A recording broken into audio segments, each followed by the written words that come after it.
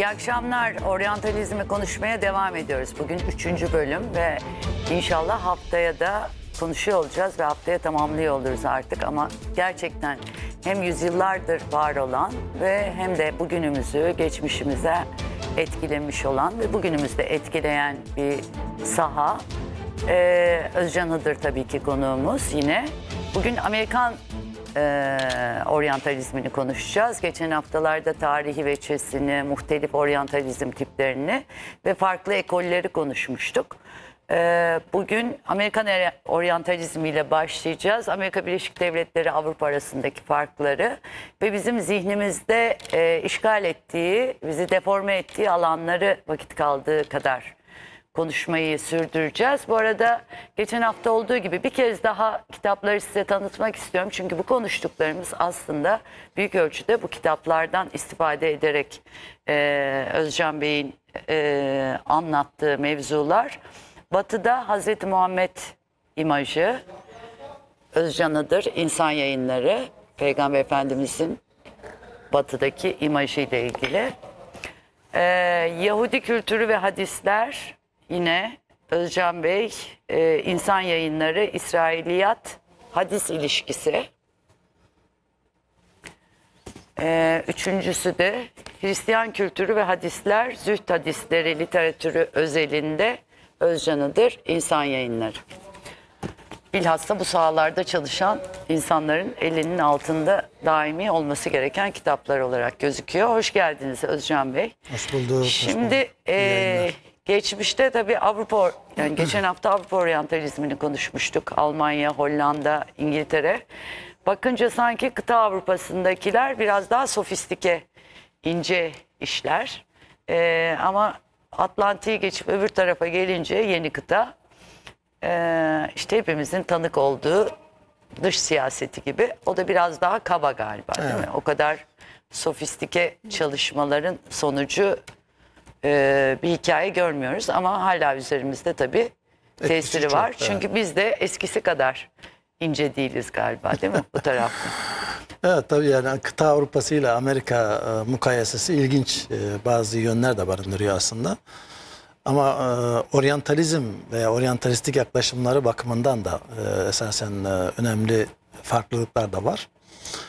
Bunu belki şöyle şey yapabiliriz. E, yani e, biraz da oryantalizmin çıkışı ve gelişim seyriyle de ilgili bu. Yani bir de devletlerin yükselmesiyle de ilgili bence. tabii dünyada değişiyor. Yani İngilizler vardı biliyorsunuz İkinci Dünya Savaşı'na kadar etkili olan devletler daha az veya Birinci Dünya Savaşı'na kadar diyebiliriz. Sonra işte Amerika öne çıkıyor. Özellikle İkinci Dünya Savaşı'ndan sonra Ee, ve dünyada e, hakimiyetini kuruyor. Tabii İngilizler geri plana itiliyor ama İngilizler de yine etkili. Ee, ve Amerika'nın e, yükselmesiyle birlikte aslında biz bir başka şeyi daha görüyoruz. Yani onları da söylersek belki meseleyi daha iyi anlarız. Evet. Ee, 90'lı yıllarda e, Soğuk Savaş'ın bitimi var biliyorsunuz. Orada aslında e, İslam karşıtlığının veya Batı'nın e, İslam'ı düşman olarak tanımlaması var. Bizzat o zamanın e, NATO Genel Sekreteri olsun, Margaret Thatcher'lar olsun İslam'ı kodladılar biliyorsunuz yani düşman olarak. Bu 90'lı yıllarda böyle gitti ama e, ondan öncesinde bir Selman Rushdie olayı var. Onun da bununla bağlantılı olarak Hem düşünüyorum. o var hem şahsen. Teslime Nesrin var. Hatta o var ara yani, evet, evet. hepsi aynı e, tipolojideydi ve neredeyse tabiri caizse e, Allah'a ve İslam'a saldıran çok yok satıyordu. Değil Aynen. mi? Aynen. Yani e, zaten Batı'da biliyorsunuz bu tip şeyler bir, bir, bir kesim için ekmek ve oy kapısıdır. Yani aşırı sağcı ve solcular için oy kapısı bu bu tip yazarlar için. Tabii İran'da Aslında- katkısı oldu Selman Rushdie'nin o kadar. Aynen tabii zaten öyle. meşhur yani. olmasına, aynen. evet. Yani İran'ın e, o fetvayı vermesi Hümeyni'nin zaten onu patlatmış oldu. Şimdi e, bu 90'lı yıllar bu şekilde geçildi ama 2000'li yıllara gelinceye kadar aslında 80'li 90'lı yıllar Avrupa'da e, belki siz de çok onu e, yakından takip etmişsinizdir. Çok kültürlülük denen bir şey de vardı aslında değil mi? Evet. Yani Avrupa'da teşvik de ediliyordu bu bir yönüyle. Yani çok kültürlü politikalar. Hatta 90'larda başlamıştı yani Evet. işte Avrupa Birliği, Türkiye'nin üyelik müzakerelerinin başlaması falan hepsi aynı dönemdeydi. Evet. Şimdi şunu demeye çalışıyorum. Yani bu aslında bu tılsım e, 2001 e, 11 Eylül hadisesiyle bozuldu diye ben bir bir takvim verebiliriz böyle yani. Doğru. Ya zaten İslam karşıtlığının evrelerinden e, bir tanesi Soğuk Savaş'ın bitimi ise bir diğer kırılma nokta e, 11 Eylül'dür. Bir de ondan önce tabii Huntington'un tezleri de Tezleri var. Fukuyama'nın tezi var Fukuyama malum. çok konuşulup tartışılmıştı Evet, yani. evet. Yani orada da onun da biliyorsunuz yani Batı'yı merkeze alan, Batı merkezci, Avrupa merkezci e, ve Batı ve diğerleri Ve diye. yeni bir düşman Evet. tarifi Aynen öyle yeni bir düşman tarifi. görünmüş. İşte o zamanlar yine e, şeyler var Amerika'da biliyorsunuz. Haçlı Savaşı'ndan söz ediliyor. Aslında biz e, ilk başlarda söylememiz gerekirdi belki ama e, bugün şimdi söyleyelim aslında Haçlı yani oryantalizmi modern Haçlı Savaşları diye tarif edenler var. Yani ben de bu tabiri almıştım bir yazımda. Tabii şeyde e, bu arada Huntington dağa çıktığında yani 11 Eylül'den önce e, Fransa için söylüyorum herhangi bir Müslüman kendini kötü hissedebileceği bir ortamdaydı artık büyük ölçüde. Evet. Yani duyduklarından ama te- tersi de yazılıyordu yani. Aynen ama şey de vardı Antitezleri de dengeleyici şeyler de yazılıyordu. olabiliyordu. Evet. 11 Eylül'den sonra birkaç şeyi biz birlikte yaşadık. Yani bu da daha ziyade bence Amerikan e, hegemonyası, Amerikan oryantalizmiyle ilgili olan bir şey diye düşünüyorum. Yani bunu onun için söylüyorum. Yani buna tabii itiraz edilebilir yönleri yok mu? Var ama ben böyle olduğunu şahsen düşünüyorum. 11 Eylül'den sonra biz aslında paradigmanın Müslümanlar bağlamında tamamen kırıldığını, e, değiştiğini görüyoruz. O da bir defa aşırı sağcı, e, solcu partiler alabildiğine yükseldiler değil mi? Yani Avrupa'da anormal gibi görülen, periferide olan, marjinde olan e, bu partiler, bu fikirler vardı aslında, hep vardı. Evet, ama çok- ayıplanırdı. Çok, önde değillerdi yani. Ve de ayıplanırdı yani. Aynen öyle. Mesela işte Hollanda'da Wilders yani söylenirdi ama buna sistem içerisinden karşı çıkarlardı. Geleneksel partiler vardı. Ee, işte Hristiyan demokratlar vardı, sollar vardı filan. E, %17 almıştı Jean-Marie Le Pen deprem diye çıkmıştı. İşte Avusturya'da Manşetler. biliyorsunuz Avrupa Birliği e, müdahale etti yani o E, evet, Hayder'in partisine. Hatta okulların arasındaki ilişkiyi falan e, kesmişlerdi yani lise de- öğrenci değiştirme programlarını Avusturya ile. Şimdi tam da aslında söylemeye çalıştığım şey bu. Ee, yani bütün bu fikirler e, sağcı ve solcu, aşırı sağcı ve solcu aslında ırkçı temele dayanan, Avrupa merkezciliği, Batı merkezciliğe dayanan bu fikirler ki onu geçen programlarımızda bunun da aslında Darwin ve Hegel'in e, o ırkçı şeylerine dayandığını söylemiştik. Şimdi bunlar aslında bu fikirler daha sonra ne oldu? Bu aşırı sağcı fikirlerin, e, partilerin ve grupların yaydığı fikirler anormal fikir, periferide olan fikir, marjinde olan fikir merkeze, Merkeze geldi. geldi. ve anormal olan normalleşti. Merkezdekiler de onlara benziyor. Aynen öyle. Yani merkezdekiler de onlara destek verdi şu veya bu şekilde. Aslında onların e, belki de onların istediği arzuladığı bir şeydi bu. Yani onu da diyebiliriz. Yani biraz da komplo teorisiyle gidersek. Yani merkezdeki partilerde belki veya Avrupa yeni bir konsepte geçti çünkü. Öyle çok, bir damar var ama yani çok işte kültürlülükten- ekonomik kriz ortamında işte Evet. sonra bu 2008 finans kriziyle de Hep o depreşiyor zaten o- Evet. o, gibi şeylerde. Yani orada ilk karşılarına aldıkları grup göçmenler ve Müslümanlar oluyor zaten batıda. Yani ama ben e, ben biraz şöyle düşünüyorum şahsen. Yani e, bir yeni bir paradigma oluştu. Oluşturuldu. Yani İslam düşmanı ilan edildi. Edilince bunun enstrümanları da alt enstrümanları da hazırlandı diye ben şahsen biraz düşünmek istiyorum. Yani bunun enstrümanların hazırlanma işi de zaten vardı bu fikirler. Gibi vardı mesela 90'larda bir yandan da Cezayir vardı. Evet. Yani e, Cezayir üzerinden bir İslamofobik şey vardı. E, devam eden akan bir Ya kanal var o vardı. hep var zaten. Yani o, o, o, o her zaman var. Azalır, eksilir. Biliyorsunuz hatta ırkçı temayüller Avrupa'nın e, fikriyatında bir, bir damar olarak vardır hep. Ama bu konjonktüre göre çok yükselebilir, azalabilir de. Yani böyle bir eğilim de gösteriyor ama hiç kaybolmuyor o yani. Çünkü o sistemik de bir şey aynı zamanda bir yönüyle. Dolayısıyla ben bunun e, yani o argümantasyonunun oluşturulması işinin daha ziyade Amerikan oryantalizmi ve bir kısmen de İngiliz oryantalizmi ile birlikte yürütüldüğünü düşünüyorum. Yani Amerikan oryantalizmi zaten buna e, daha teşneydi. Daha siyasetle iç içe gidiyordu. İşte Dışişleri Bakanlıklarıyla Yani Fethullah da bunun bir veçesi mesela Evet yani değil mi? Amerikan işte var yani o şimdi biraz sonra belki Bilahare o şeyleri de konuşacağız. Ee, yani e, araştırma merkezleri, araş- düşünce kuruluşları, istihbarat kuruluşlarıyla birlikte yürüyen bir e, oryantalistik damar aslında kastettiğimiz şey. Biraz daha sati giden yani klasik oryantalizmde e, Belkıs Hanım biz çok hakikaten İslam hukukunda, e, siret, İslam kaynakları konusunda, Kur'an konusunda Arapçası çok iyi olan, klasik e, şeylere nüfuz eden e, önemli oryantalistler görüyoruz. Mesela bir Godzier, Schacht gibi ne bileyim yani Nöldeke gibi e, bu oryantalistler hakikaten İslam dünyasına da giden e, öncü oryantalistler, kurucu oryantalistler ama bunların aynı zamanda klasiğe nüfuz eden yönleri de var. Şimdi bu 11 Eylül ile ve Amerikan oryantalizmi ile bu e, daha bir, birkaç şeyde temelde değişti.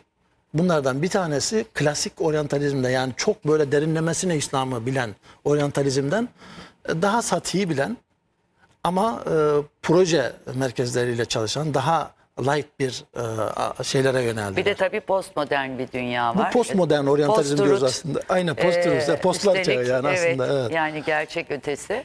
Ya bu o postlar, zaman daha çabuk iş postlar görülüyor meselesi herhalde. çok önemli biliyorsunuz. Evet. Yani post-truth, postmodernizm, post-oryantalizm hatta bunun e, postu bizim şeylerle ilgili de vardır. Yani mesela mutezile derler. Hatta birazdan ben onu konuşacağım. O İslam dünyasındaki modernistler ve reformistler kendilerini neo mutezile derler. Hmm. Post mutezile yani. Post-truth da galiba 2000'li yılların başında girdi değil mi? Evet. şeye, e, Post covid var şimdi tabii. diksiyonere Evet, evet. İngiltere'de. İyi, o şey e, biliyorsunuz e, e, yani o zamanın kelimesi seçilmiş hatta o, o dönemde. Dolayısıyla hakikat sonrası demek hani bilmeyenler için e, hakikatin parçalara bölünmesi, fragmente edilmesi aslında post modernizmle birlikte düşünülmesi gereken bir şey. Yani modernizm 18. asırda aydınlanmayla oluşan bir e, ideoloji, anlayış. E, postmodernizm de daha ziyade dinle, ikisi de dinle alakalı aslında. Birisi dini tamamen kovuyor, birisi dinli biraz daha hani e, rafine hale getirip biraz yararlanalım diyor yani. E, Yoksa böyle bir- modernizmde posta atmış olmuyor diyorsunuz. Atmıyor, evet, atmıyor tamamen. Ee, biraz revize edilmiş. Ben bu postları hep şöyle görüyorum. Bilmiyorum siz ne düşünürsünüz. Yani Batı e, oryantalizmle gelen bir şey bu yine. Yani hep oryantalizme bağlıyor diyecek hocalar. Hoca ama biz bunu konuşuyoruz bugün. E, yani oryantalizmin en önemli yöntemlerinden birisi bilgiye hükmettiği için, bilgiye hakim olduğu için, epistemik üstünlük kendilerinde oldukları için İşte tam bilgi çağında alternatiflerini de kendileri oluşturuyor. post-truth dünyada hakikat ötesi, bilgi çağı hepsi yan yana gelince. Bir de tabii enformasyonun bu kadar kolay e, ulaşılabilir olması. Dolayısıyla enformasyon kirliliği, dezenformasyonun Aynen. da çok kolay bir şekilde dünyayı kuşatabildiği bir ortamda. E, Amerika Birleşik Devletleri'nin oryantalizminin de biraz Hepsi daha kaba ve yayıldı, sati olması anlaşılabilir bir durum. anlaşılabilir ve bu zaten e, kavramlara hükmediyor birkaç birkaç aşamasını söyleyeceğim onun. Yani bu alternatifler oluşturmayı da bize bırakmıyorlar. Yani onu da kendileri yapıyor. Yani Ha, birçok konuda. karşıt Tabii tabii şimdi mesela oryantalizm Çok güzel. eleştirisi e, yapıldı mı İslam dünyasından hiç? Kim yaptı? Edward Said yaptı. O da e, bence Batı paradigması içerisinden çıkmış birisidir. Evet, zaten Müslüman da değil. Değil evet.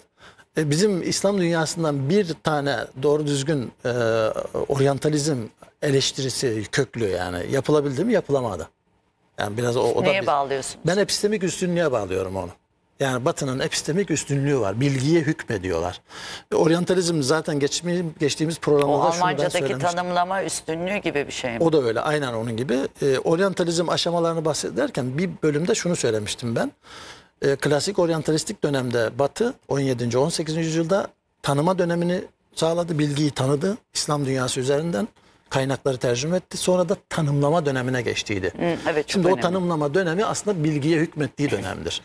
o da kavramları, e, yeni kavramlar üretiyor.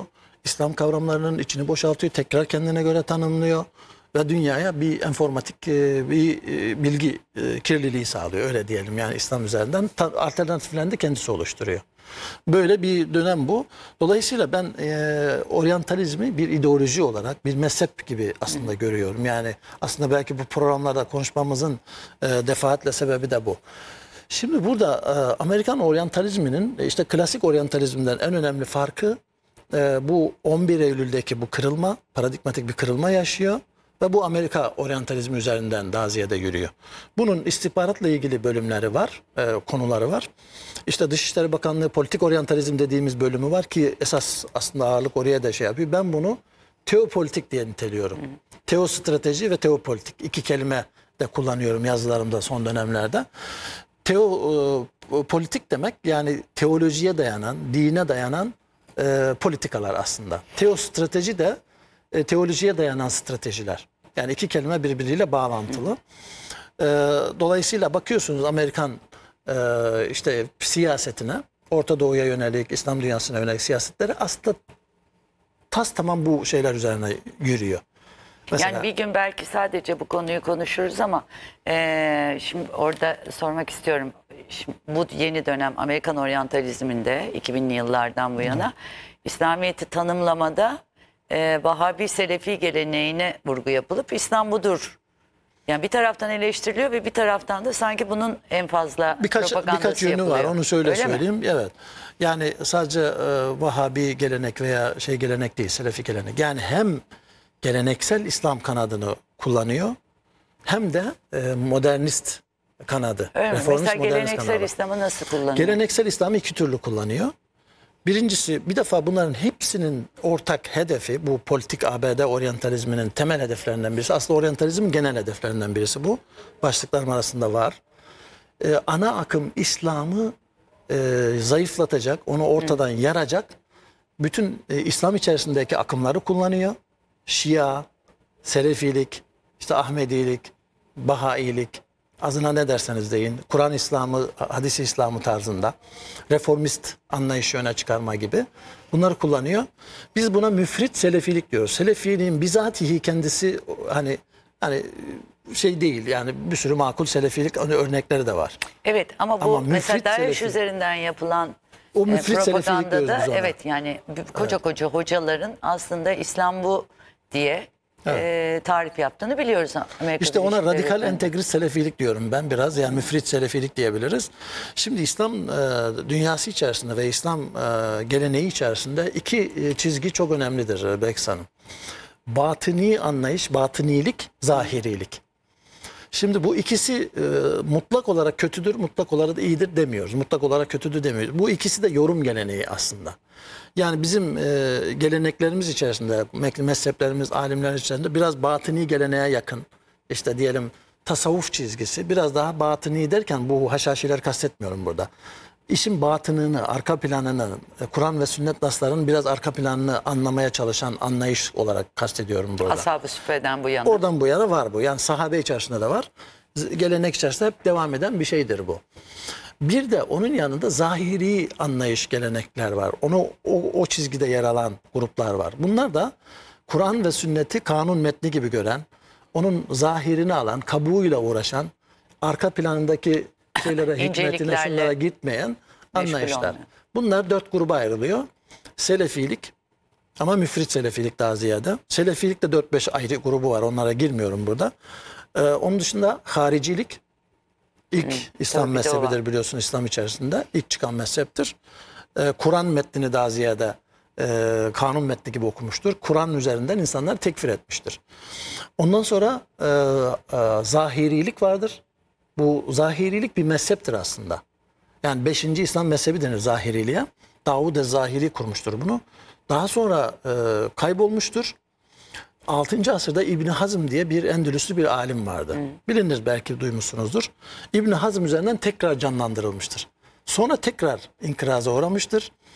Ve ondan sonra bu anlayış ki İbni Teymiye üzerinden canlandırılmıştır. Selefilik üzerinden daha ziyade. Selefi zahiri çizgi üzerinden Ama İbn. Teymiye'yi bile daha ileri götürerek Şimdi, bugünkü evet, pazarlaması tabii işte İbn? Teymiye'yi e, üzerinden geleneksel olarak kendisini e, o artiküle eden, ortaya koyan gruplar var. Selefi gruplar o 18. asırda 5-6 Selefi grup var o dönemde. Yani Yemen'de, işte Mısır'da, Bilad-i Şam'da, Irak'ta. Ama bunlar içerisinden müfrit e, Selefilik dediğimiz çizgi yine İbn Teymiye üzerinden kendini şekillendirdi ama İbn Teymiye'yi çok açtı. İbn Teymiye'nin görüşlerini de açtı. İbn Teymiye yanlış da yorumladı aslında birçok konuda. Bunlara Vahhabilik diyoruz biz. Şimdi bu Vahhabilik işte proje e, olarak ben şahsen onu ortaya koyuyorum. Yani bir oryantalistik bir proje bu. Yani çünkü e, bu anlayış artık zahiriliğin ötesine geçen bambaşka bir noktaya götürüyor. Biz, biz ben bunu temelinde haşevi e, anlayış olarak söylüyorum. Bunu belki ilk defa duyacak seyircilerimiz. Haşvilik, haşevilik deniyor buna. O, o da e, 3. Hicri asırda, 3. asırda Bağdat'ta yaşamış Berbehari denen bir alim var. Bu Haşvi işte tam olarak. Ahmet bin Hanbel'le aynı dönemde yaşıyor. Neredeyse Ahmet bin Hanbel'i de tekfir ediyor. İmam-ı Taberileri tekfir ediyor. Yani büyük alimleri yani Selefiliğin içerisinde olan alimleri bile tekfir ediyor. Böyle bir kabukçu bir e, kişi. Dolayısıyla aslında o müfrit Vahabilik daha sonra bu Haşivi çizgi üzerinde daha ziyade yürüdü. Yani dolayısıyla bunun bir geleneği yok. Niye bu anlayış e, peki projelendirildi? Çünkü bu öyle bir şey ki e, temeli şeyi e, geleneği yok ediyor. E, mezhepleri yok ediyor. İslam'ı ilk asırdan itibaren aslında Selefiliğin genelinde vardır bu ama İslam'ın ilk asrından itibaren sahabe ve tabi'in dönemi diyelim İslam'ı yeniden kuruyor, kurmaya çalışıyor. Kurunca o zaman mezhepler Ebu Hanife, Hanefilik, Şafilik gibi mezhepler devre dışı kalmış oluyor. Gelenek o zaman ne yapılıyor? Bakın gelenekselci bir çizgi bu aslında. Gelenek yani. Geleneğin içerisinden çıkıyor ama e, bunu ne yapıyor oryantalizm? Alıyor, inceliyor bu bu çizgiyi. Bunu nasıl istismar ederim bu çizgiyi diyor. Onun üzerinden yürüyor ve bunu gerçekten bir modern e, problem haline getiriyor. Ve 18. asırda Vahabilik işte ilk önce Osmanlı'ya karşı daha sonra bütün dünyaya yayılan işte Amerikalıların en son e, işte biz destek verdik. Hatta Muhammed bin Abdülvahhab'ın biz tabii onlar üzerine kuruldu bu e, bu şey diye yani Selefiliği biz böyle onlar istedi diye yaydık dediği şey buydu tam aslında. O, o açıklamaları yaptılar biliyorsunuz. Evet. Dolayısıyla buradan e, gelenek içerisinden kurulmuş bir şeydir bu. Bir başka şey daha var bunun, e, yönü daha var. O da şu.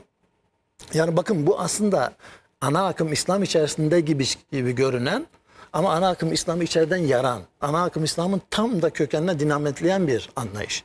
Neden? Çünkü geleneği yok ediyor. Yani geleneği yok ediyor. Gelenek üzerindeki alimleri tekfir ediyor.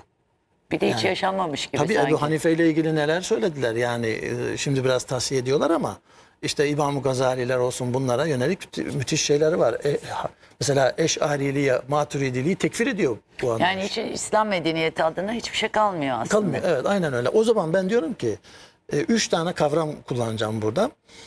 Gelenekli olmak, gelenekselci olmak, gelenekçi olmak. Bizim tercih ettiğimiz şey gelenekli olmaktır. Gelenekli. Bu ne demek? Yani geleneğiniz var. Geleneğin içerisinde de hakikaten e, bir analitik düşünceyle e, bakıyorsunuz geleneğinize. Onu ibretle okuyorsunuz. Her zaman Evet. ge- gelen yani Gelen, değil mi? De gelene ek yani. beri Gelene gelen. ek. Evet. Gelene ek yapıyoruz ama biz geleneği inkar etmiyoruz. Geleneği analitik okuyoruz. Yani ama gelenekselci düşünce var bir de. Gelenekçi düşünce var. Gelenekselcilik biraz daha farklı e, yürüdü. Gelenekçilik ise geleneğin her şeyini kutsayan, gelenek içerisindeki her şeyi kutsayan bir anlayış. Bu doğru bir anlayış değil şahsen görüyorum. Çünkü geleneğin içerisinde hakikaten yani çok marjinal, çok farklı görüşler var. Tabii. Bugün bazıları dillendiriliyor neler Peki yaşıyoruz. orada mesela oryantalistlerin şeyi var mı rolü? Yani o anlayışların ortaya çıkarılmasında var. Evet, palazlanmasında var. Yani mesela bugün medyadaki bizim Türkiye'deki din tartışmalarında o kadar böyle hani kıytırık şey meseleler gündeme getiriliyor ki değil mi? Yani onlar üzerinden ne yapılıyor? Müslümanlar polarize ediliyor. Şimdi aslında biz böyle- ayrıştırılıyor aslında. Evet. Dinledikçe oraya geleceğiz e, büyük ihtimalle bir sonraki yayında ama zaten tartışmaları bilenler şimdi siz anlatırken yerli yerine koyuyor. Ama daha somut olarak konuşacağız zaten. Tabii tabii evet. sonrakinde. Yani biz şunu konuşuyoruz burada. Oryantalizmin aslında başta Amerikan oryantalizminin özellikle 2000'li yıllardan Günümüzdeki sonra yol haritası. günümüzdeki yol haritası ve günümüzdeki İslam dünyasındaki teopolitik ve oryantalistik projelerini Evet. konuşuyoruz. Aslında bir yönüyle bu. Şimdi Amerikan oryantalizminde tabii e, bir yandan da reformist İslam'ı kullanıyor.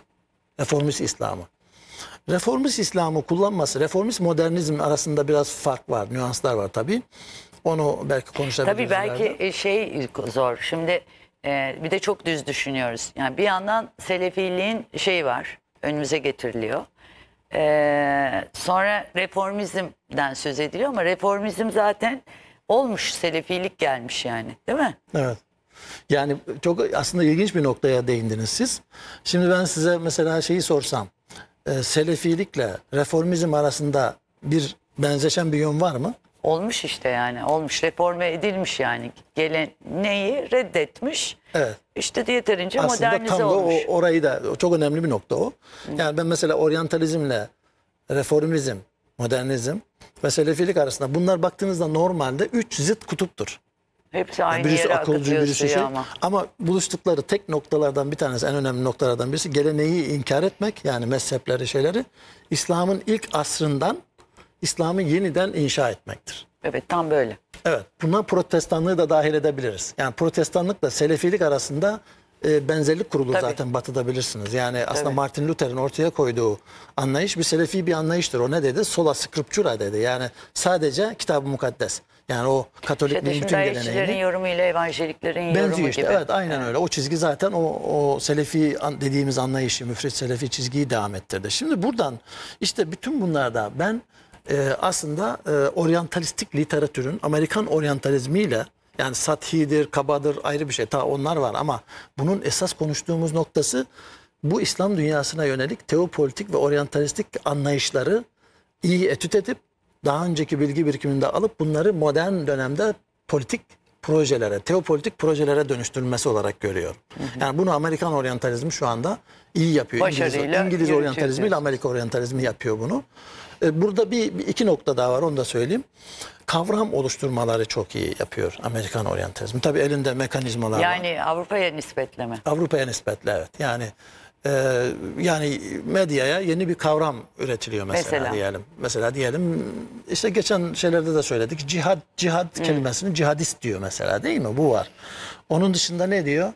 E, mesela e, postlarını çıkarıyor şeyin. Yani post diyor mesela post-truth diyor, ne bileyim postmodernizm diyor. Bunların hepsinde aslında Amerikan oryantalizminin e, piyasaya yansıttığı şeyler olarak görüyoruz. Mesela cemaat kavramını bile aslında e, tanımlıyor. Yani şey olarak cemaat kavramını. Mesela selefiliği aslında güzel bir şeymiş gibi olarak da şey yapıyor. Ne diyor mesela? İslam dünyasında selefiliğin e, şeyi e, Amerikanlıların çalışmalarında çok vardır bu. Islahatçılar olarak gösterilir. Islahatçılar bakın yani yenilikçiler demek aslında. Üç tane kavramımız vardır bizim e, şeyde geleneğimizde. Tecdit, ihya, ıslah. Bu üç kavram da aslında birbirine yakındır mana olarak. Yani aslında güzel kavramlardır bunlar. Yani biz yenilikçiliğe karşı değiliz e, tecdide. Yani dinin anlayışlarında e, şey yoksa geleneğe uygun olarak yenilenir anlayış. Bu teşvik de edilir hadiste biliyorsunuz öyle bir hadis vardır. Müceddit hadisi vardır. E, İhya da İmam Gazali'nin İhya Ulumuddin adlı eserini düşünelim. Din ilimlerinin ihyasıdır. Bu da var. Islah da bir şeyi ıslah etmektir. Güzel kavramlardır. Ama ıslah kavramını Arapçaya e, bu Vahabilerin e, anlayışını da şey yapanlar olarak ıslahatçılar olarak tercüme ederler hep. Reformistlerdir aslında. Yani reformiz şeyi ıslahatçı olarak bize anlatmaya çalışıyor. O zaman siz reformist deseniz başka oluyor. Çünkü onun kelimenin aslı hadasidir. Modernist, hadasi, reformist. Islahatçı dediğinizde bizi çağrıştırdığı mana başka oluyor. Öyle değil midir yani? Islahatçı derseniz hani makul, gayet de güzel, hani seveceğiniz Olumlu. bir şey olur.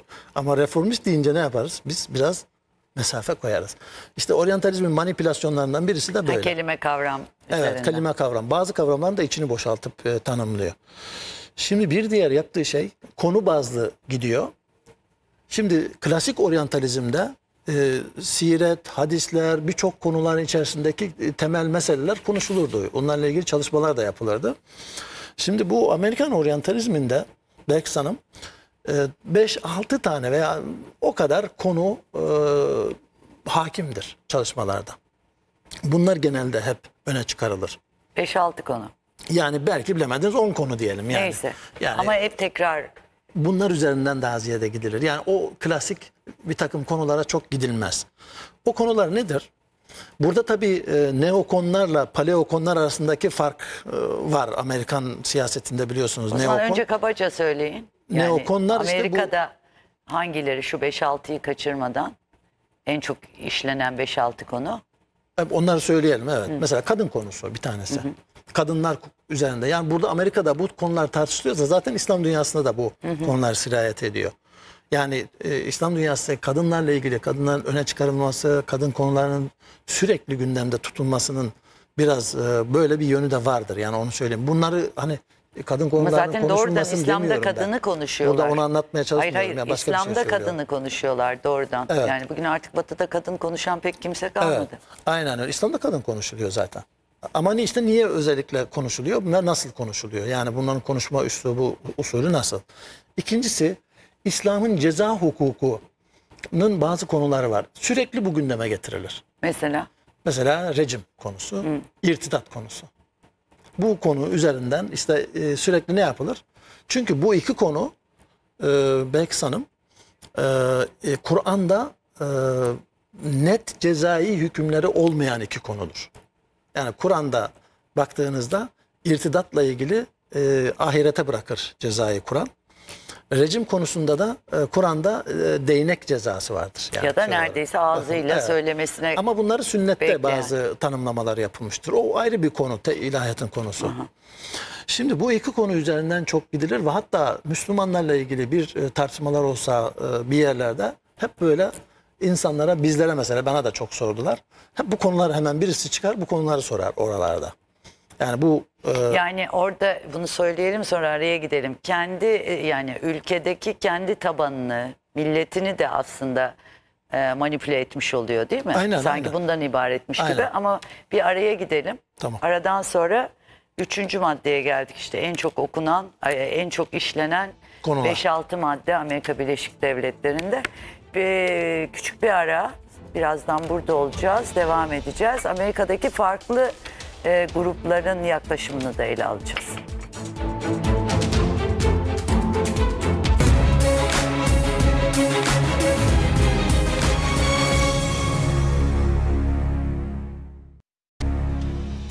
Evet, şimdi Amerika Birleşik Devletleri'nin oryantalizminden konuşuyorduk ve e, dediniz ki 5-6 konu üzerinden e, gidiliyor ve en çok tekrarlanan mevzular bu 5-6 konuda yoğunlaşıyor. Şimdi kadınları söylemiştiniz, İslam kadını tabii bu. Yoksa genel olarak kadın konusu değil. İslam ceza hukuku ile ilgili e, tekrarlanan şey, e, propaganda. Üç, üçüncüsü nedir? Kur'an'ın e, Kur'an ve sünneti de katabiliyoruz. Kur'an'ın sadece otantikliğini Bu, konuşuyorlar. e, bu çok önemli. Evet. Kur'an'ın sadece otantikliğini bakın. Kur'an konularına da giriyorlar ama giren oryantalistler var bugün dönemde. İçine giriyor muhtevasına ama esas oryantalistlerin temel amacı Kur'an'ın sahih bir kitap, otantik bir kitap olmadığını ispat etmeye yönelik. Yani Bu burada- yeni mi? bu, bu, bu yeni. Klasik oryantalizmde de var bu. Ama modern oryantalizmde de bu çalışmalar daha da hızlı olarak projeler projeler olarak gidiyor yani. Geçen haftaki e, Ama şimdi Endonezya'da ilk yola çıkışından itibaren bakınca Evet. daha değişik. Orada aman buna dokunmayalım. Başımıza dert ama işte alırız. bir grupta öyle devam ediyor var. yani. Evet. Evet, Orada bir şimdi var. artık doğrudan doğrudan Kur'an'ın e, sahih bir temele dayanmadığı e, projeler, revizyonist oryantalistler demiştik bunlara. Geçen e, şeyde Almanya, işte e, İngiltere merkezli, Amerika'da da var. Bu 3-4 tane e, Ayağı var. Pro, ayağı var bunun. Ama hadislerle ilgili bölümü de zaten devam ediyor. O var her zaman. Yani hadislerin e, işte tabiinden ileriye geçmediği şeklinde aslında senetlerinin tabiin döneminde uydurulduğu şeklinde projeler var. Yani bu detaylı şimdi burada ona Tabii girersek. sünnet de var burada. Sünnet tabii ikisi beraber. Yani dolayısıyla tabiinden de ileri geçmeyince biz buna common link e, şeyi diyoruz. e, e, anlayışı veya iddiası. Common link demek ortak ravi demek. Ortak ravi işte tabiin döneminde kalmıştır. Yani Ya ravi zinciri diye bir ravi şey zinciri oradan öteye diyor. geçmemiştir evet. Ravi zinciri yok demiyor. Var ama uydurulmuş. Ha. Dolayısıyla o oradan öteye geçen hiçbir hadis yoktur demek e, aslında İslam'ın hadislere dayanıyor. Fıkıh biliyorsunuz bütün İslam ilimlerinin temeli hadistir aslında. yani yönüyle. sunukun tespiti üzerinden Orada yürüyorlar mı? Yürüyorlar evet. Orada yürüyen bir hat var ayrı da. Yani o şahtlar, Gozier kısmen bunu şey yapıyor. Ondan sonra Joseph Şaht diye birisi bunu temellendiriyor. Onun biliyorsunuz talebelerinden birisi Fazlur Rahman'dır.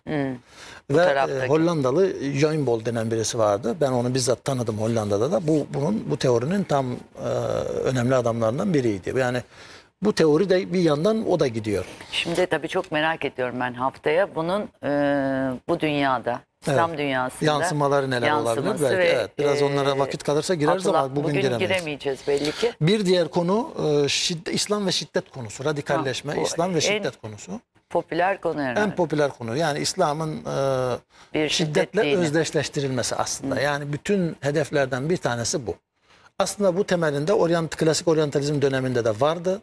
İslam'ın zuhurundan itibaren de vardı. İşte o Batı'da Hazreti Muhammed İmajı kitabında temel olarak Kılıç, bunları veriyoruz zaten. Ee, Kılıç peygamberi, e, dini. Kılıç şiddet dini, işte kılıç peygamberi falan gibi böyle temalar hep işleniyordu. Bu oryantalistik dönemde e, daha sofistik hale getirildi. Modern dönemde ise bu daha somut projelere dönüştürülerek karşımıza çıkıyor. Yani DAEŞ projesi böyledir, Boko Haram budur, aslında El-Kaide böyledir. Şimdi mesela e, biraz e, demin vurguladık Selefiliği söylemiştik değil mi? Selefilik mesela diyor ki şu anda e, Suudi Arabistan biz Selefilikten vazgeçtik diyor. Değil mi? Şu anda Tabii da seküler bir İslam'a beraber dönüyorlar. ılımlı İslam için Peki ben soruyorum Suudi Arabistan temelli Rabi el Medhali diye bir, bir, bir tane alim var. Selefi bu, müfrit Selefi ve Medhali diye e, el Camiye, el Medahile diye aynı grubun farklı isimleri bunlar. Şimdi yine Suudlu bir adam. E, Libya'da, Mısır'da, dünyanın birçok yerinde hatta Türkiye'de Yine bunun promosyonunu yapıyor. bunun promosyonu yapıyor. Bu daha tehlikeli bir grup. Selefiliğin daha müfrit bir kolu bu. Tekfirci, bakın e, sanırım bu grubun, belki bu gruba ait değil hepsi ama sadece Libya'da 28 tane radyo istasyonu var bunlar. O Selefilerin düşünün yani. Bizim belki Türkiye'nin orada radyo istasyonu var Ama mı yok zaten tekbirciliğe giriştiğinde yani esas ana şeyi buysa, ana Evet. yolu buysa zaten ortada insan kalmaz. Tekbir ede ede. Evet evet. Yani Değil mi? ben şu- Paramparça şunu demeye çalışıyorum. Selefiliğin bir şeyini şey yapıyorlar ama bir başka kolunu yine yükseltiyorlar. Yani orada projelendiriyorlar. Başka bir noktadan destekleniyor bu. Yani biz onun farkına bile varana kadar belki Atalan Üsküdar'ı geçiyor. Bir başka konu Ne yazık ki. yani e, e, onlardan bir tanesi e, cinsiyet konusu tabii yani gender studies meselesi var ama esasında sünnilik dışı mesela bunu ko- esas şey yapalım. Sünnilik dışı mezheplerin grupların, anlayışların projelendirilerek sünnilik karşısına dikilmesi bu. Bunun çok acayip alt versiyonları var. Yani Şiilik bunlardan bir tanesi. Şia. Şia'nın üç kolu var biliyorsunuz. Yani 12 imam Şiiliği var. E, Zeydilik var. Ehli sünnete en yakındır.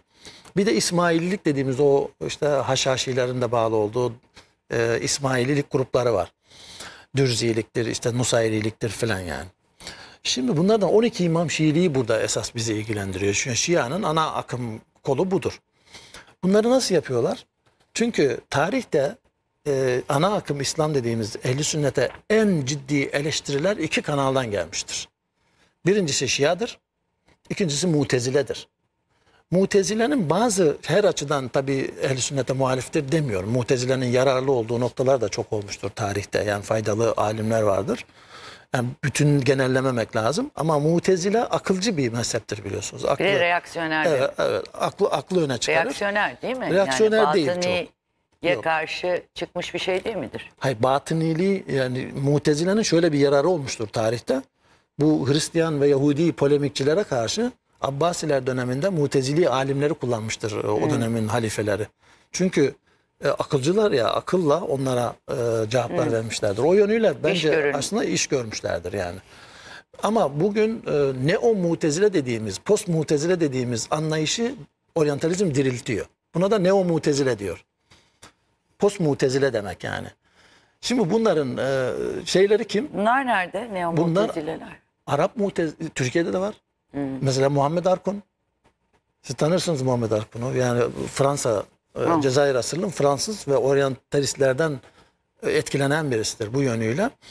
E, Ve e, bugünkü reformist modernistlerin piridir aslında. Yani bugünkü İslam dünyasındaki modernist reformist teorilerin önemli bir kısmı Muhammed Arkun'un şeylerine de dayanır. Şimdi bunların e, birkaç tane ayağı var. Burada şöyle diyelim isterseniz üç tane ayağı var bunun. Birincisi İslam dünyasındaki hemen her ülkede, Türkiye'de buna dahil reformist, modernist anlayışlar var. Gruplar var. Birlikler var. E, bunların e, isimlerini de verebilirim. E, mesela Arap e, Akılcılar Birliği. Paris'te kuruluyor bu. Bunlar işte George Tarabişi, işte Kur'anlar arasında e, kimler var başka?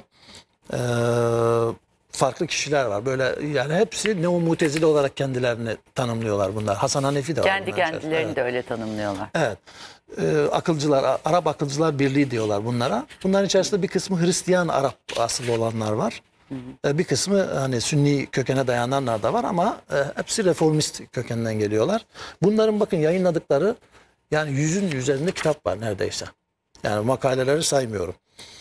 E, ikinci grup bu, bu kökene dayananlar el müminune bila hudut diyorlar kendilerine. E, sınırsız müminler demek yani. O çok Bu güzelmiş. Tunus kökenli Daziye'de Geçen hafta çalışıyorlar bunlar. Onlara bahsetmiştim. geçmiştik evet. Bunların e, yani e, bunların da yine belli başta hep reformist bu, bu kişiler. Bunlar da bir sürü kitaplar yayınlıyorlar. Bunlar sınırsız derken neyi kastediyorlar? Yani herhangi bir usulümüz yok demek aslında. Ha, Her şeyi konuşabiliriz. Biliyorsunuz yani İslam'ın usulü usulü din, usulü fıkıh dediğimiz iki tane temel e, yöntemi vardır. Anlayış hattır bu, çizgidir. O çizgilerin dışına çıktığınızda aslında siz hudutsuz olmuş oluyorsunuz. Ama işte bu şeye de benzemiyor mu biraz? Hani DAEŞ'te de mesela sınır yok. Ee, sanal Yani bir bu dünya var. yönüyle aslında Herkesi içine bu yönüyle alabilir yani. Amerika'dan da birisi gelebilir. E, e, onun fikri şeyi de temelinde de sınırsız müminler topluluğu çok güzel. Aynen işte. Bir- Belki Hanım İslam'da eğer siz mezhep dediğimiz şey aslında bu mezhep dediğimiz şey paradigmadır. Usuldür, hattır. Eğer şu mezhebi yok ederseniz, geleneği, gelenekli olmayı yok ederseniz siz o hattı bindiğiniz dalı kesmiş olursunuz. E, usulünüz de olmaz o zaman. Bir yani bir paradigmanız olmaz. Neyin nasıl, nereden konuştuğunuz belli olmaz. Niçin Her yaptığınız şeyi da belli konuşursunuz o olmaz. zaman. Evet. Her şeyi de yok edersiniz. Yani ayağınıza da sıkarsınız. Ama yani adı şey üstünde olarak. güzel olmuş yani sınırsız. Sınırsız İşte haddi şeyler. yok yani hadsiz. Haddi husus yok. Bunlar hiç- bunlar da ikiye ayrılıyor. İkiye ayırabiliriz bunları biz. Yani bunlar üzerinde detaylı da konuşulabilir. Belki haftaya Birisi- şimdi bunları Evet. Türkiye'den ve İslam dünyasından konuşunca ister istemez yeniden Evet, konuşacağız gireriz. galiba. Arap asıllı e, işte bunlar e, Sünni asıllı veya Müslüman olanlar diyelim. Yani reformistler neticede biz tekfir etmiyoruz. Yani bunlar Müslüman olduğunu söylüyor. Evet. Kimisi seküler ama. Bir de bunların içerisinde Arap asıllı Hristiyanlar var. Yani Onları bunlarla beraber ediyorum. hareket ediyorlar. Bunlar da çok. Yani Tayyip Tizini var. Bunların içerisinde George Tarabişiler var. Bir sürü isim Yani var. Hristiyanlığı bırakıp şeyle mi Hristiyanlığı bırakmıyorlar. Hayır İslam'a- hayır. Onunla meşgul olmak yerine oturup Evet evet İslam Sünni şey kaynakları araştırıyorlar. Bunlar üzerinden teoriler üretiyorlar. Ve bu teoriler bu iki grubun bunlar da oryantalist tabii. bunlar o işte Oryant oryantalist, oryantalist. yerli oryantalist diyebiliriz. Doğulu- Doğulu, doğulu. oryantalist diyebiliriz. Evet aynen de öyle. Aslında yani yerli oryantalizm, yerli İslamofobi falan deniliyor biliyorsunuz tabir olarak. Aynen öyle diyebiliriz. Ama bunlar biraz daha hani anlayışla karşılayabiliriz. Çünkü bunlar zaten Müslüman değil. Evet bir de iç içe yaşıyorlar. Bunların çoğu biliyorsunuz şeylerde de Amerikan üniversitelerinde falan da yetişmişler zaten. Beyrut'ta işte Lübnan'da, şeyde evet. falan. Ama e, bu ikisi bunlar iki, iki grup birbiriyle ortak çalışıyor. Ve bunların e, şeyleri çok ilginç. E, oryantalistik fikirleri bunlar alıyorlar. İslam'a daha farklı şekillerde projelendiriyorlar. Çünkü bunlar e, İslami kaynakları şeylerden daha iyi biliyorlar oryantalistlerden. Arap asıllı ama e, Arapçası zaten iyi.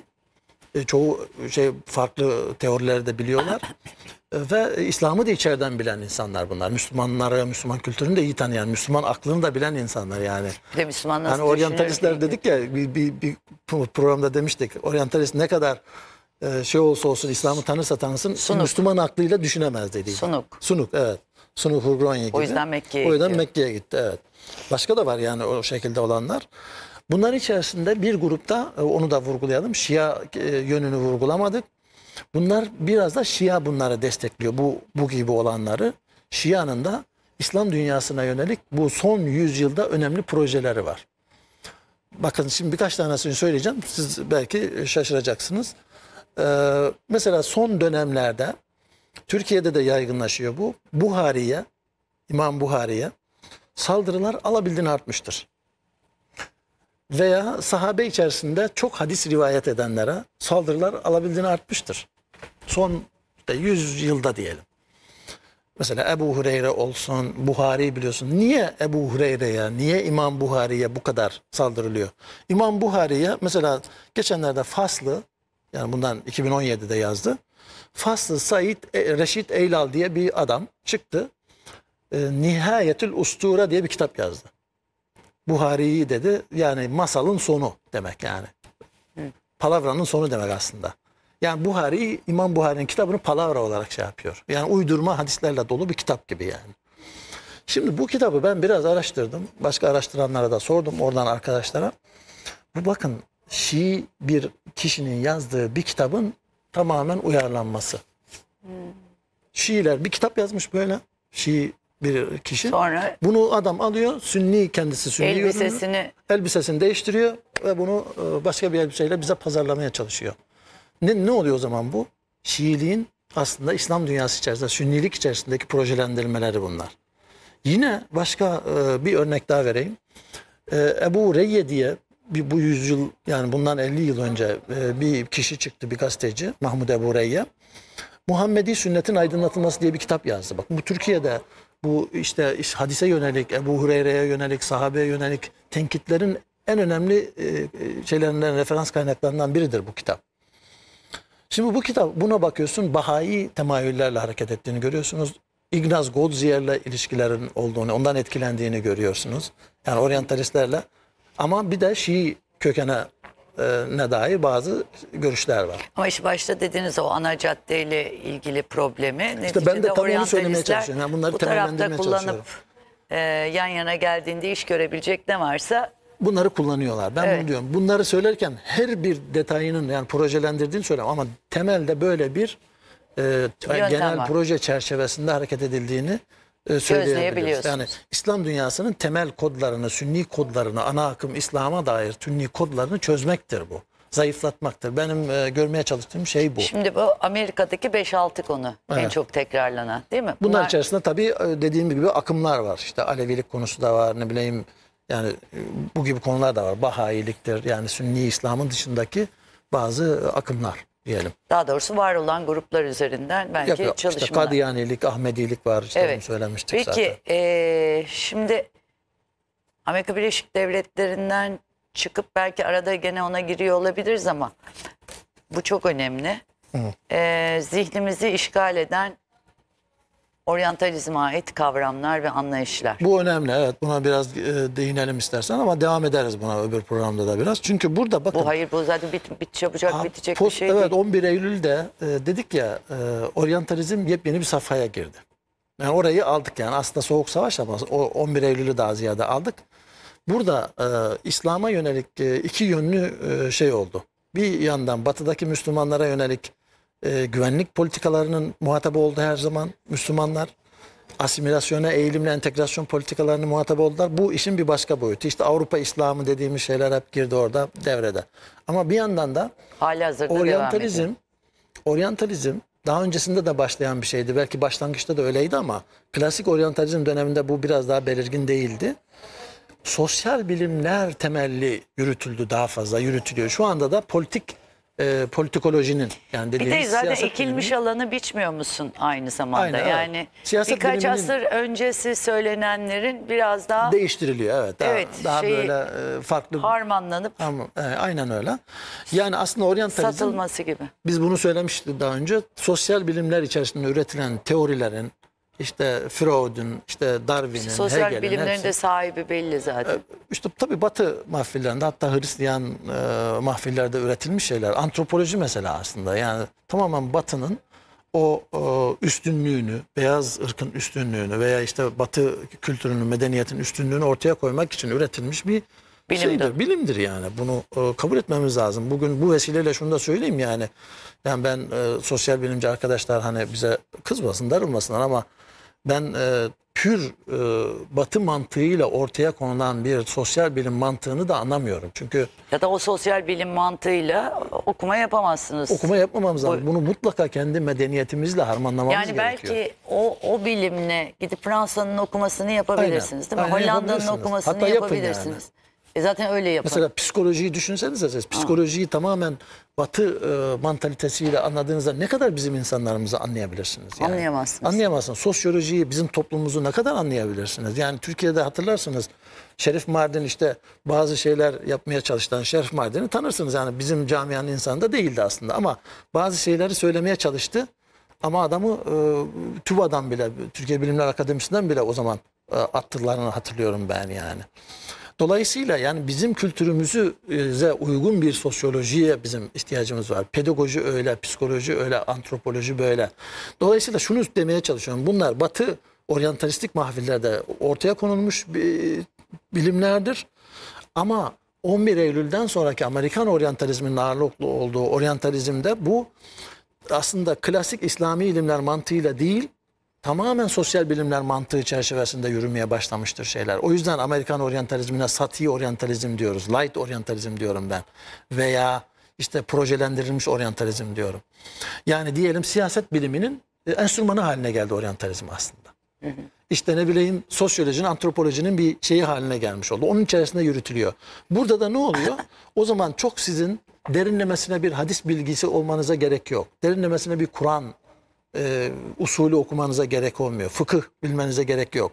Yani ki genel teorileri, şeyleri bilin. Yani diyorsunuz ki oryantalistler de irtifa kaybettiler. İrtifak ediyor. Aynen öyle. Amerikan oryantalizminin böyle bir şeyi var. Yani e, aslında bu Amerikan oryantalizminin entelektüel üretememesiyle de alakalıdır. İyi beter yani, olsunlar o zaman. Aynen.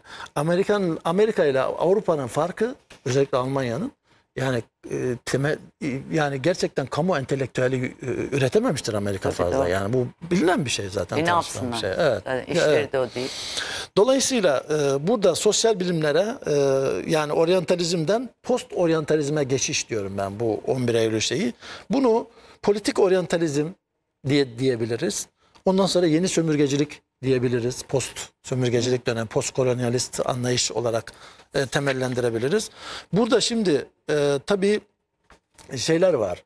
E, bir takım konular var. Onları siz özellikle vurguladınız. Ben de şuradan onları e, söyleyeyim. Ee, şimdi bir defa e, projelendirilmiş e, şeyleri söyleyelim de insanlar bir dahaki e, konuşmamıza bunlardan e, şey yapsınlar. Birkaç tane ismini söyleyeceğim. Mesela Kur'an İslam'ından bahsetmiştik biz. Kur'an İslamı diye bir İslam'dan projelendirilmesinden bahsettik. Bu bana göre oryantalistik bir projedir. Yani o Hint alt kıtasındaki Evet. şeyinden bahsettik. Hadis İslam'ından zaten bahsetmiştik ama hadis İslam'ının e, o medhali ayağı bugün daha ziyade öne çıkarıldı. Özellikle belli ülkelerde.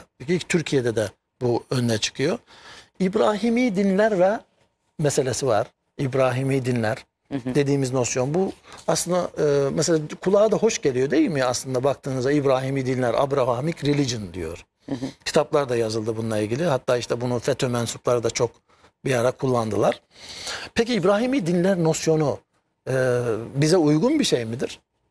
Yani biz bunu benimseyebilir miyiz? Bu da yayıldı bir sürü insanın ağzında. Bize göre benimseyebilir mi? Benimseyemeyiz. Neden? Çünkü İbrahimi dinler diye bir şey yok.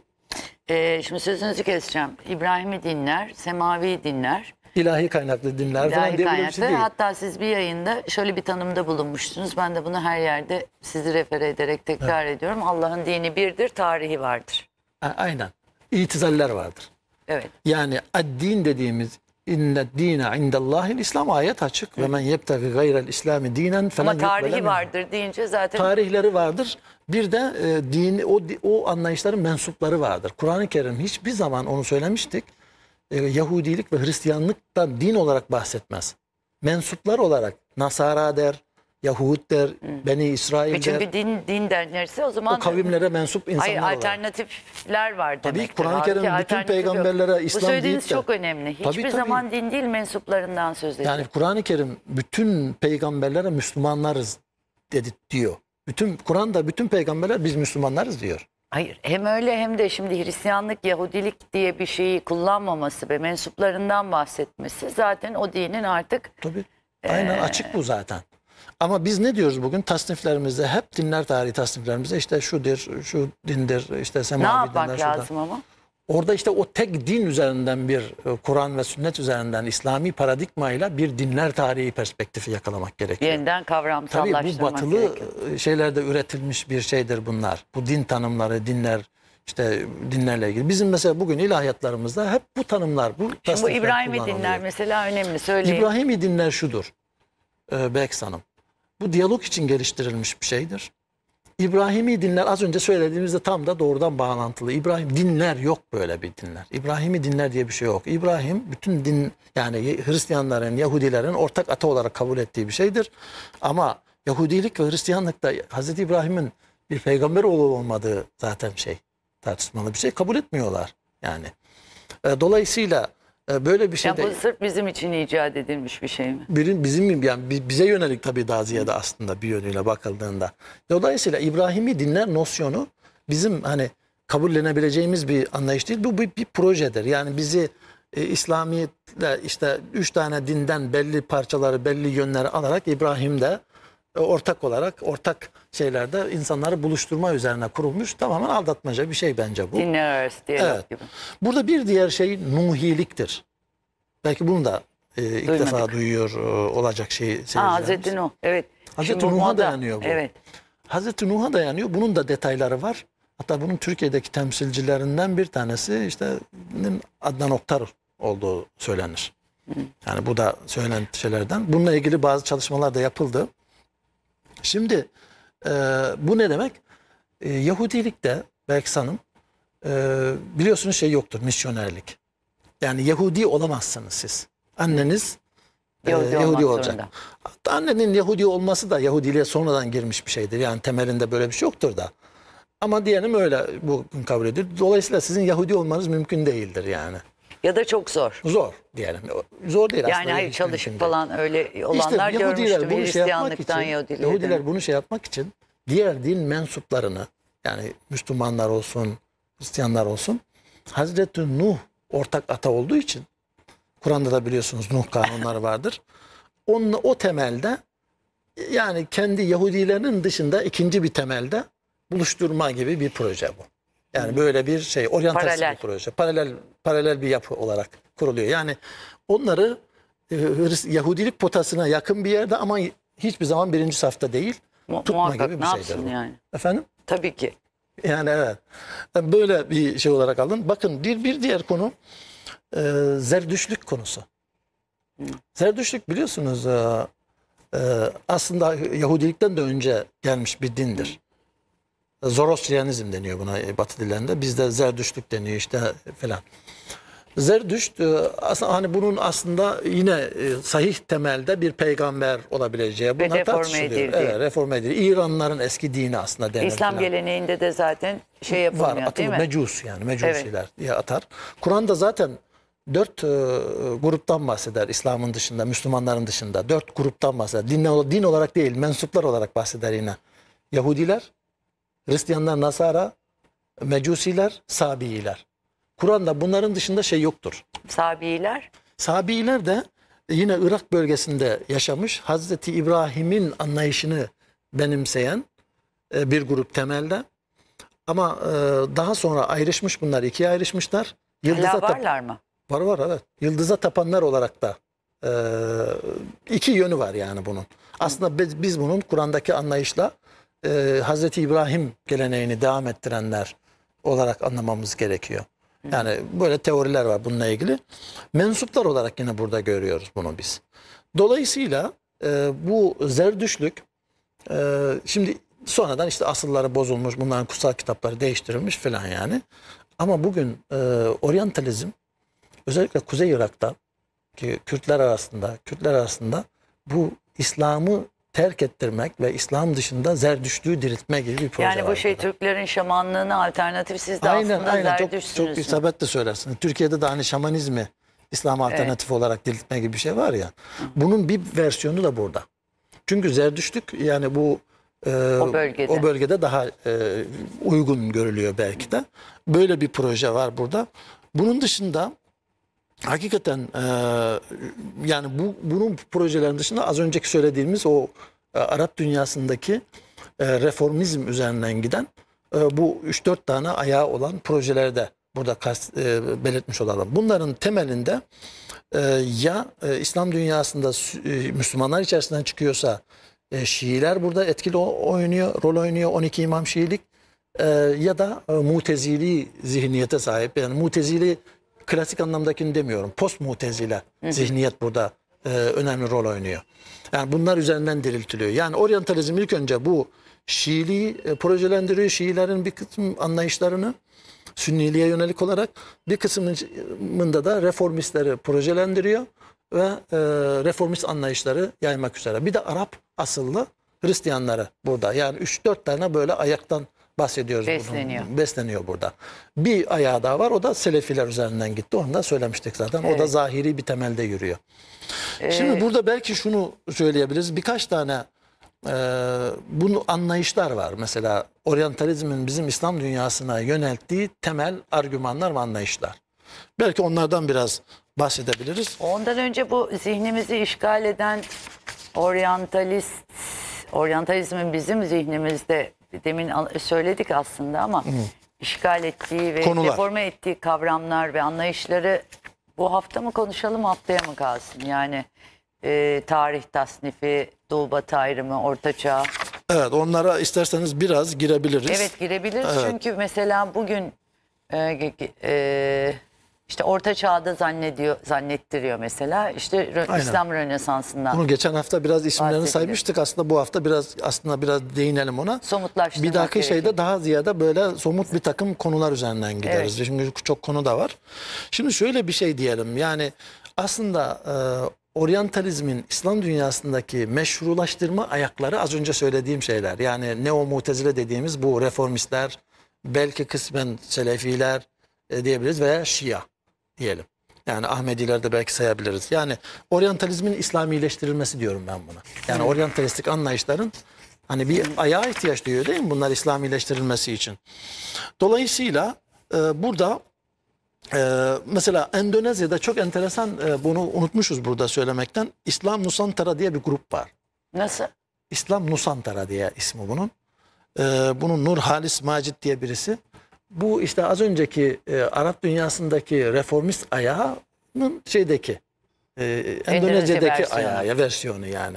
Aynı tartışmalar, benzer tartışmalar, benzer konular orada onlar eliyle daha ziyade yürütülüyor. Benim Endonezyalı mesela talebelerim var. Onlardan da bunu dinlemiştim e, zamanında. Bir diğer şey e, belki sana onu söyledikten sonra diğer o konulara geçelim.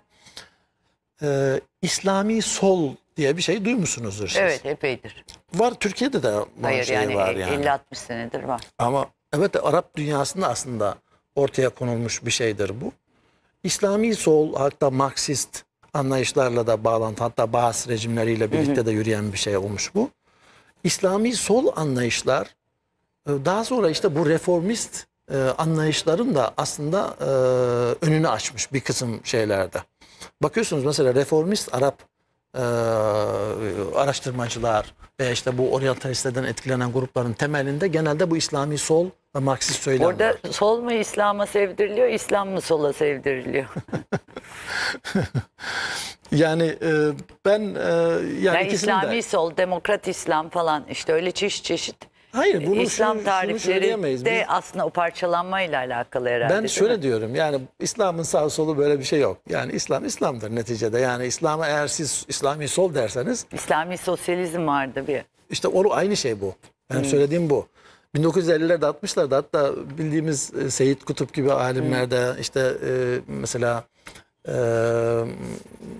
bir tane alim var hadis alimi. Bunlar da tabii modern Bunlar dönemin İslam sosyalizmi diye kitaplar yazmışlar. modern dönemin ürünleri. Modern dönemi tabii yani daha 50'ler 60'lar yani 70'ler. El İsla, İslami e, şey demişler yani El İştirakiyetül İslamiye diye kitaplar yazmışlar. Yani İslami sosyalizm demek. Yani o zamanın belki konjonktürel şartlarında yazıldı bunlar ama kimisi bunlardan daha sonra döndü tabii. Bu anlayışları benimsedi demiyorum. Ama bir kısmı bunları yürüttü, devam ettiriyor. Yani şunu diyorlar yani İslam aslında sol anlayıştır. Burada işte Hazreti Ebu Zer üzerinden, Ebu Zer el-Gıfari üzerinden projeler var. Ebu Zer el-Gıfari'nin şeylerini öne çıkaranlar. Türkiye'de de bunun biliyorsunuz o gezi olaylarında falan daha sonra bunun ayaklarını yürüten bazı e, kişiler var Türkiye'de yani. Hani isim vermek gerekmez. Ama bu anlayışların da aslında bir yönüyle oryantalistlerin jargonuyla hareket ettiklerini, o tandansla hareket ettiklerini biz görüyoruz. Burada modernist reformistlerin çoğu genelleme doğru olmamakla birlikte şu dört ihtimal var bunlarla ilgili. Onu vurgulayayım.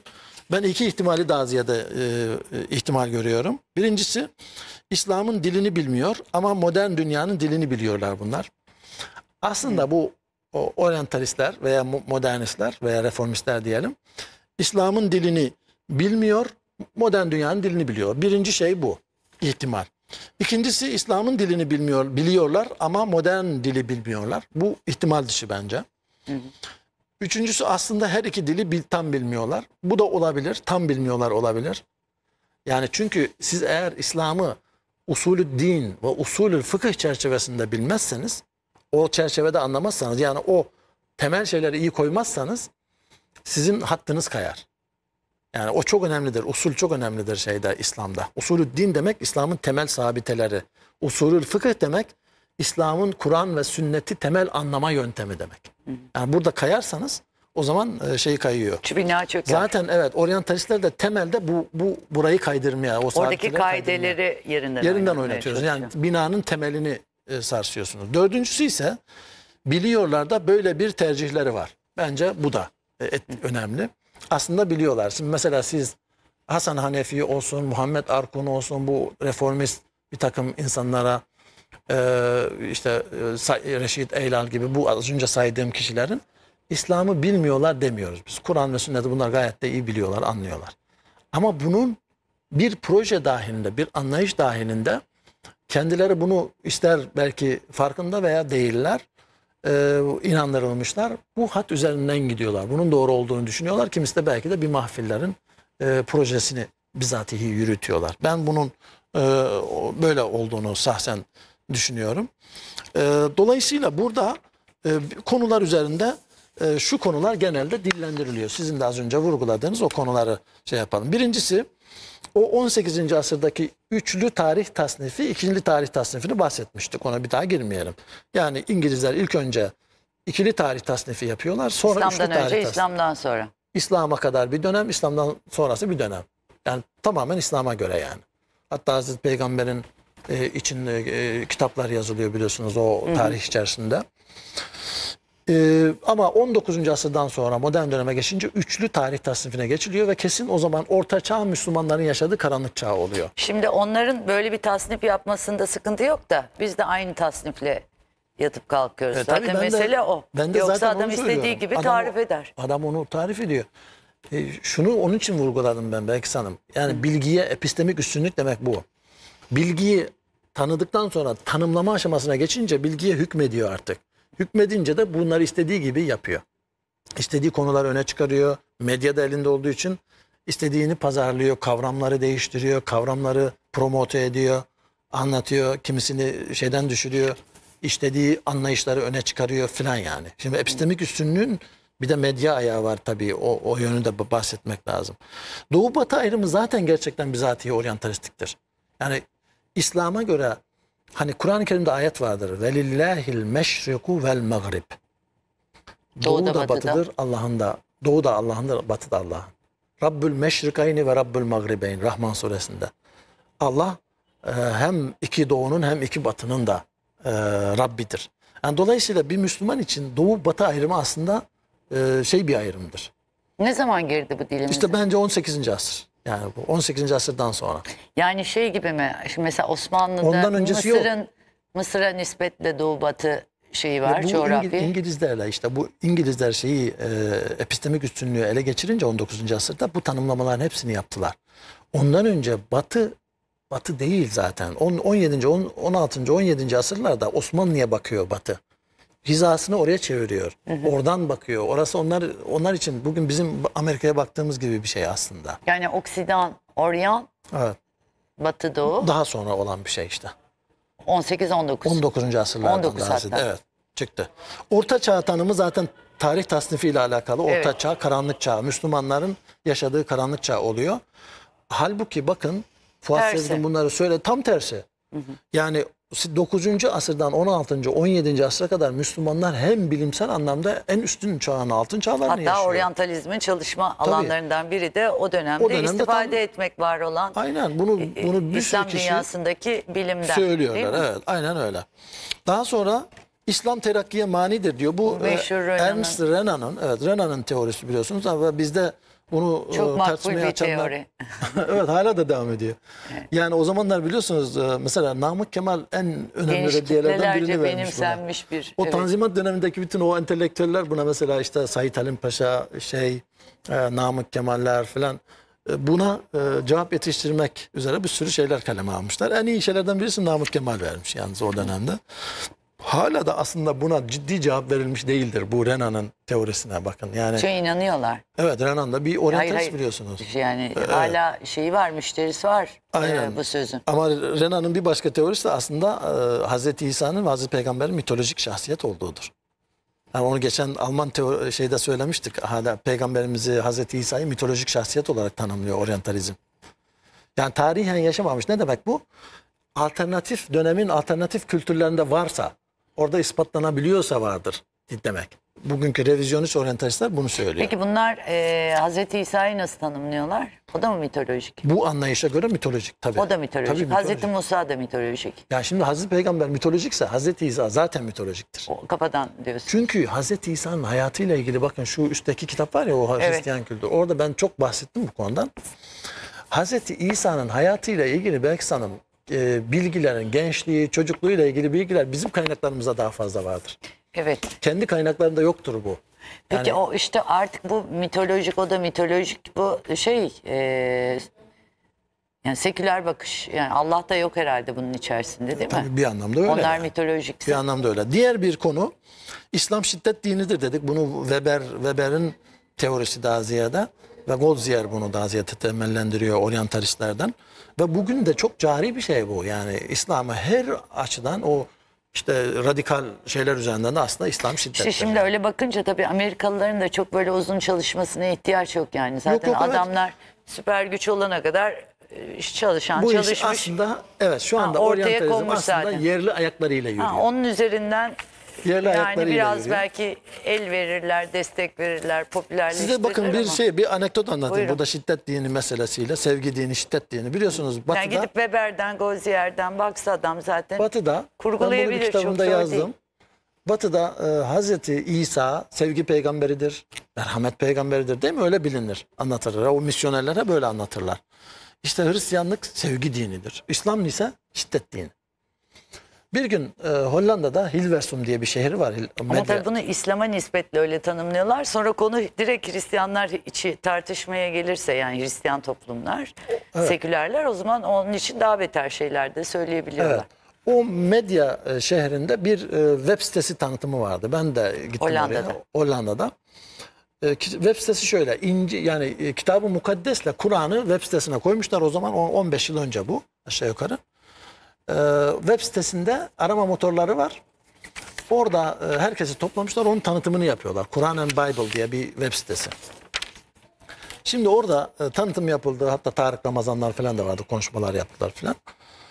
Sonra dediler ki e, katılımcılara herkes bir kelime söylesin birer kelime arayalım. Kur'an'da mı daha çok çıkıyor, Kitab-ı Mukaddes'te mi çıkıyor? Çok iyi iş. Şimdi ben dedim ki e, Hazreti İsa'yı söyledim, Jesus. Aradı gerçekten e, adam. Üç kat fazla çıktı Kur'an'da şeyden, Kitab-ı Mukaddes'ten. Şimdi çıkınca tabii bazıları şaşırdı. Hemen ben şöyle sağımda oturan bir tane e, e, rahibe vardı, papaz yani. Kalktı dedi ki ben dedi şaşırdım dedi. Kur'an'da dedi Hazreti İsa'nın geçtiğini ben dedi ilk defa burada duyuyorum dedi. Yani bunu e, söyledi. Sonra Ama zaten şey de var yani sözünüzü kesiyorum ama Almanya'da öyle bir anket yapılmış. Ee, Müslümanların Hazreti İsa'ya ve bütün peygamberlere iman ettiği ve iman etmek mecburiyetinde ama işte o sonradan mesela bilinmiyor. Evet, bilinmiyor. Bilinmemesi için de çalışılıyor. Onu demeye çalışıyorum. Şimdi sonra e, sevgi kelimesini söyledim bir de ben. Sevgi kelimesini. Sevgi kelimesi de biliyorsunuz İslam'da, Kur'an'da, sünnette sevginin türevleriyle 50-60 tane farklı kelime vardır. Merhamet, şefkat hepsini sayarsanız. Muhabbet filan.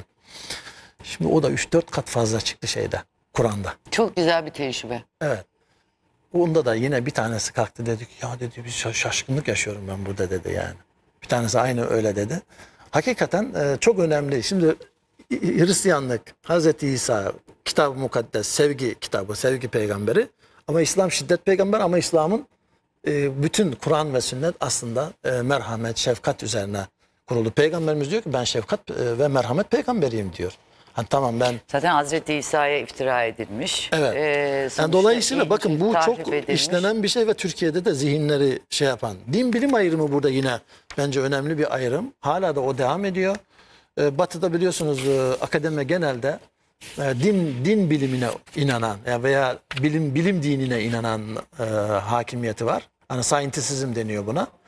e, mesela akademik mahfillerde siz dinle referans verirseniz objektif sayılmıyorsunuz çok O fazla. yüzden mi yani. çıktı Siyantolojik Lisesi? Aynen, aynen oradan çıktı bir yanın bir yönüyle. Dolayısıyla e, din bilim ayrımı çok konuşabiliriz bunu ama e, yani biliyorsunuz din aslında e, anlamlandırır, bilim ise açıklar. Yani bunu böyle temellendirirsek aslında bu bir birbirine çatışan şeyler değildir bunlar. Yani temelde çatışmaz. Şimdi onu soracağım ama haftaya cevabını alacağım. Çünkü sonuna geldik. Şimdi din bilim ayrımı evet batıda var. Yani işte zaten şey ayrılık o, laiklik o değil mi? Parçalanma o. Evet. Ee, fakat bunun oryantalistik bir şeyi var mı? Veçesi bizim üzerimizde. Yoksa ya biz böyle bakıyoruz siz de öyle bakın gibi bir iş mi? Yoksa bizimki Var. ayrıca bir iş mi? Ay var. diye soracağım ama haftaya... Şöyle haftaya değil de şöyle kısaca bir ipucu Söyleyin. verelim. Sadece bunun e, din ve bilim e, konusundaki dini referans yani bil- bilginin temeli alıp almamanızla ilgili bir şey bu. Yani eğer bu bakışta bu batıdaki bilimsel bilim dininin temel alanlarda din, metafizik ve ontoloji alanı gözüküyor ve bilimsel çalışmalarda bir şey gözükmüyor. Bir temel, Referans. referans verilmiyor. E, biz bugün o zaman Türkiye'de İslam dünyasında Kur'an'ı referans almayalım o zaman. Değil mi yani? Olabilir mi böyle bir şey? Yani Kur'an ve sünnet bilginin temeli kabul edilmiyor. Buna dayanıyor. Bir Müslüman da Kur'an ve sünneti temel iki tane kaynağı bilginin kaynağı olarak almayacaksa o zaman kültürünü nereden oluşturacak? Ben de bu soruyu soruyorum. Değil mi? Yani tamamen bununla alakalı bu. Ki peygamberlerin muallimi Cenab-ı Allah olduğuna göre Evet. yani ortada bir şey kalmıyor zaten. Diyelim e, haftaya devam Evet. edeceğiz Evet. inşallah. Çok daha önemli konular var bu konuda. Evet, e, oryantalizmi gördüğünüz gibi çok e, geniş perspektifle ele almaya çalışıyoruz. Hakikaten de bakınca asırlardır dediğim gibi başta da devam eden bir saha batılılar için ama bunun yerlileri de var. Haftaya onları konuşacağız. Bu arada kitapları son kez size e, yayın bitmeden göstermek istiyorum. Hristiyan kültürü ve hadisler insan yayınları Özcan'ıdır. Yahudi kültürü ve hadisler yine insan yayınları. Batı'da Peygamber Efendimizle ilgili e, imaj, insan yayınları. Evet haftaya görüşmek üzere. Haftaya dördüncü bölümde dediğim gibi İslam dünyası bütün bu çalışmaların tezahürünü nasıl yaz, e, nasıl yaşıyor? Biz e, nasıl bir dünya gözlüyoruz? Bütün bu olanlardan sonra bir kıvama getirildikten sonra dünya algımız nedir? Bunları konuşacağız. Görüşmek üzere.